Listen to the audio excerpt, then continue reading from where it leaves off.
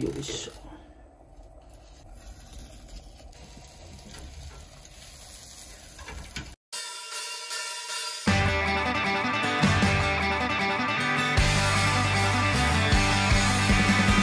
の世界に生まれた生まれた僕は卵たまたま生まれたわけじゃないたまたま卵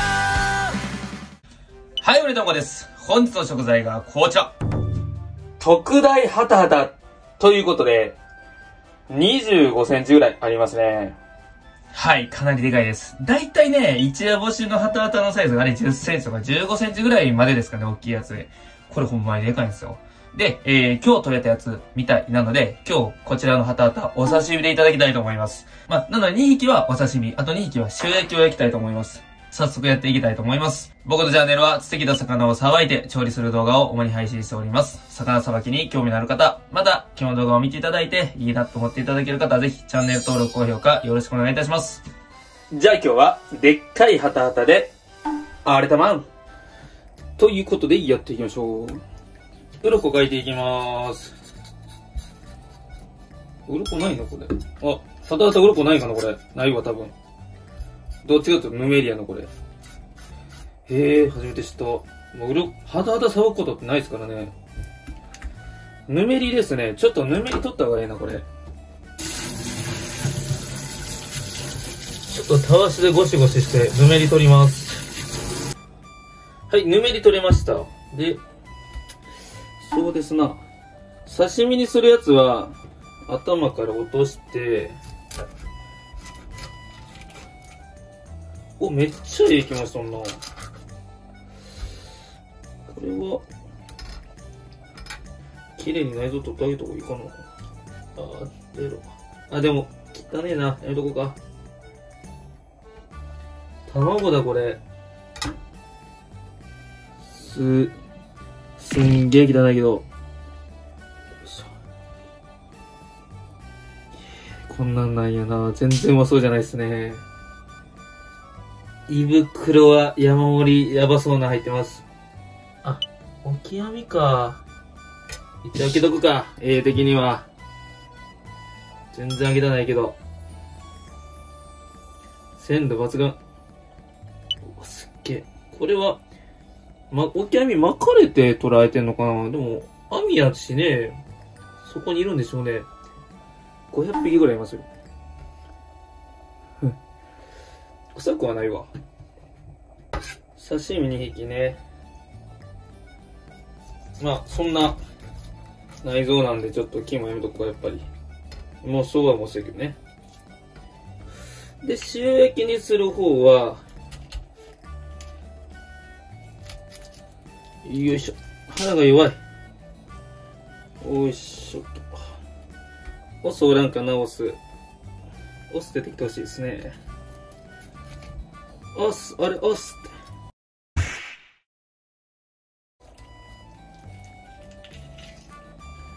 ああ、もう全部メース。よいしょ。一旦洗います。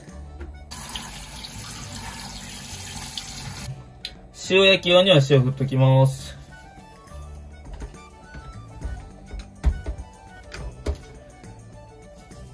タラとかに近いよな。タラも鱗なかったよね。はいでは3枚におろしていきましょう。大名おろしてもいいような気もするが。あー、これ大名おろして良さそう。とりあえず普通におろしてみます。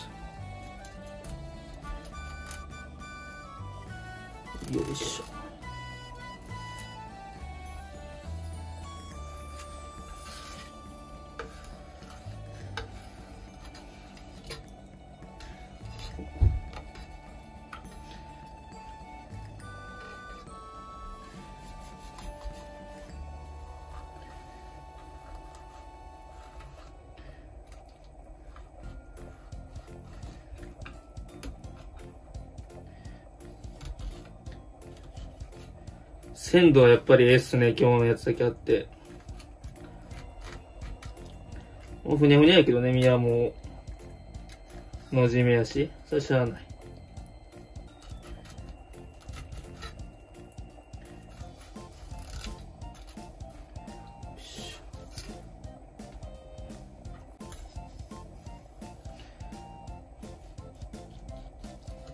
おろしにくい魚はおろしにくい魚ですね、ちょっと。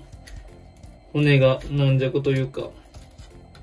骨ごと食べるもんな、ちっちゃかったら。オッケーオッケー。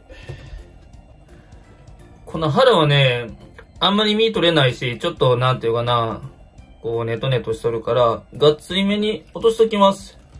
こんな感じで、刺身するとこは。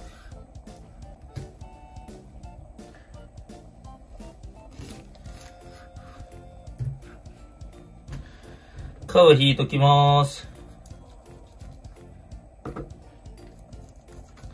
薄皮のやつやな。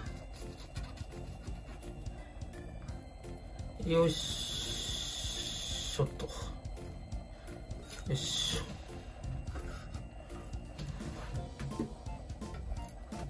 ょ。あ、でも綺麗にいけた。よーしょ。よーしょ。おー、気持ちいいな。なんて引きやすい、本当に。よし。では盛り付けていきます。ヘギ作りかな薄いんでね。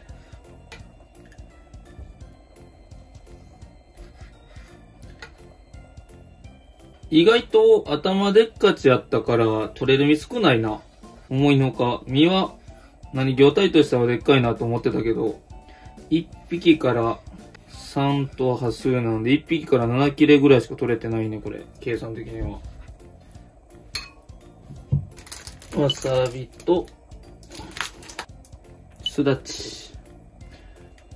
はい。お刺身の完成です。塩焼きやっていきましょう。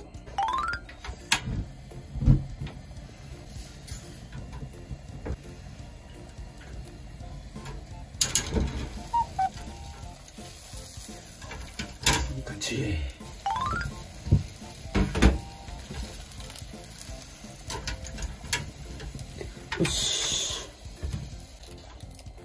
崩れんなよ。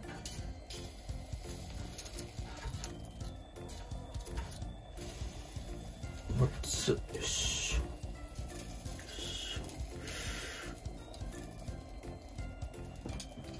すだちを添えて。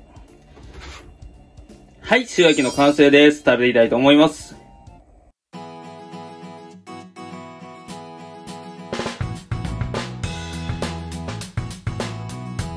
はい。では、いただきたいと思います。すだちをちょっとお醤油に絞って、かなり綺麗な身ですね。いただきます。珍しい、ハタハタのお刺身。うん。うまいわ。甘みがあるし、あと油が結構ありますね。わさびつけの忘れてた。全く臭くない。わさびなんてなくても。皮身の脂が本当にすごい。うま表現しづらいですけど、柔らかいんだけど、歯応えがあるって感じ。めちゃくちゃ下手くそやな。身自体はね、柔らかいんですよ。だけど、コリッコリしてるんですよ。新鮮な感じの。美味しい。結構ハマるかも。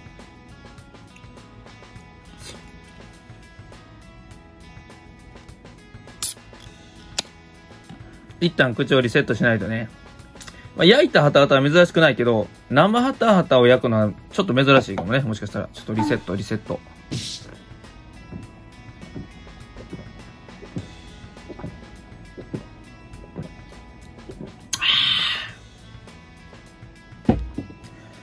ポジチェンして、すだちを絞って、よっしゃ、塩焼き。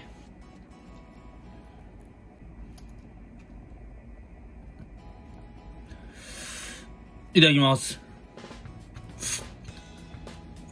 うわ。うわ、うわ、うわ。え？うわ、うめえ。よし。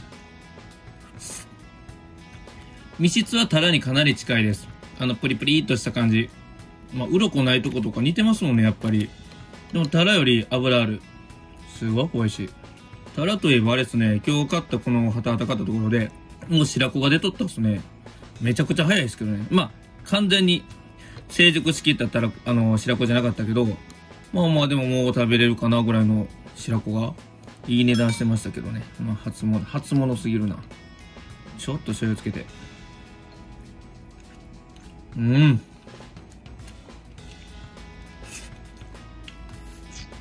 白ご飯や。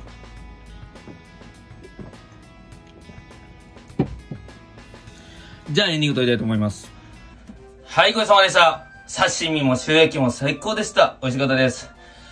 全体的にやっぱり油がしっかり乗ってたので、あの、身質はね、まあ、焼いたら特にそうなんですけど、タラっぽいんですよ。プリプリとした食感で、淡白なんですけど、油がある分、こう、心もとない感じがないというか、ジューシーというか、美味しかったです。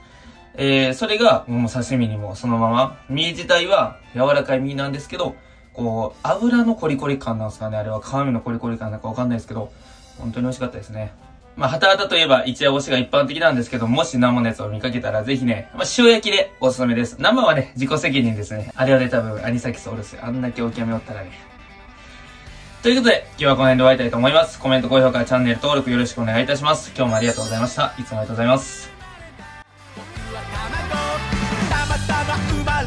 僕は